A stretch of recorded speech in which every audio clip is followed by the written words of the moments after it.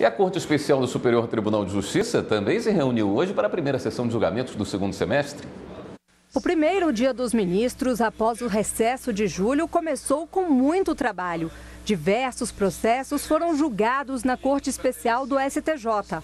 Amanhã, as seis turmas do tribunal retomam os trabalhos para julgar casos de grande importância na vida de muitos brasileiros. A expectativa é de muita produção, de muita qualidade e, com certeza, os senhores ministros, neste semestre, julgarão temas de grande importância para o direito brasileiro, para a jurisprudência e, sobretudo, para a cidadania.